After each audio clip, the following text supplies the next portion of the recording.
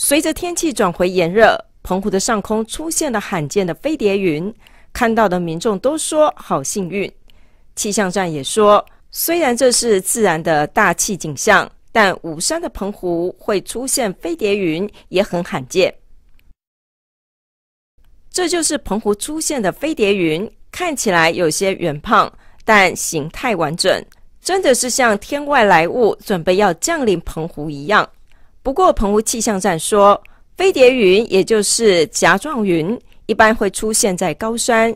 因为是软式空气经过高山时形成的震动而自流，所以几乎飞碟云都和山脱离不了关系。但澎湖没有山，都是平地，会出现飞碟云是很少见。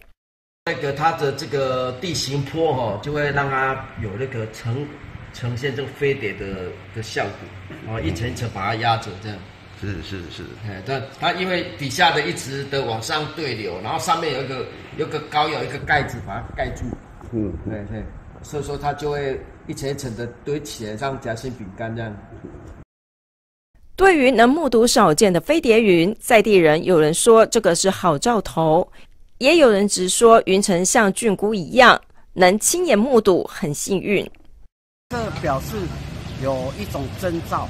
表示这次澎湖花火节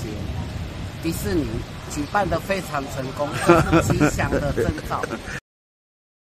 澎湖因为没有山的关系，确实很罕见飞碟云的出现。没想到今天就难得出现一次，虽然形成的时间不久，但还是让人看了觉得很新鲜。